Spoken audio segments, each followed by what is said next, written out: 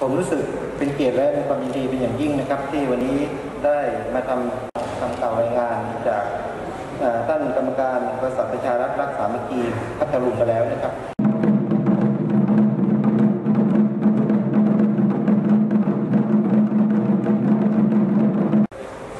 การท่องเที่ยว ก็ยังมีบทบาทจังหวัดพัทลุงเราก็เป็นจังหวัดด้านการเกษตรเหมือนกันมาแต่ไหนแต่ไรเลย นะครับ ผมรู้จักครับอย่างนี้ก็แวะอาจจะทานขนมจีนข้างทางนะครับ แต่ปัจจุบันไม่ใช่แล้วที่ตลาดครับ ไม่มีใครใครอื่นก็มานะครับนั่นก็คือเป็นแนวความคิดสนับสนุนกิจกรรมโครงการ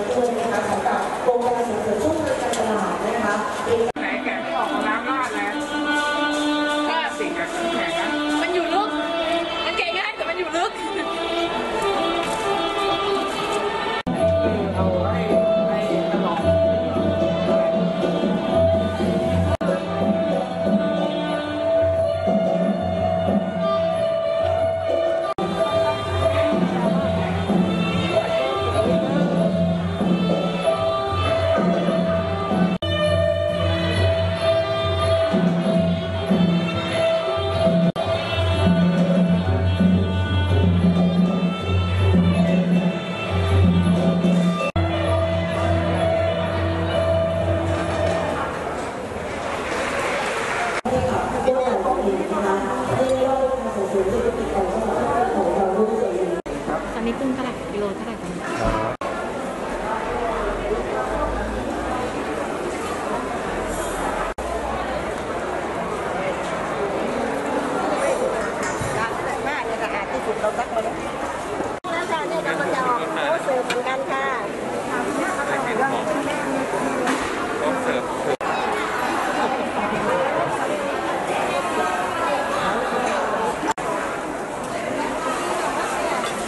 ครับ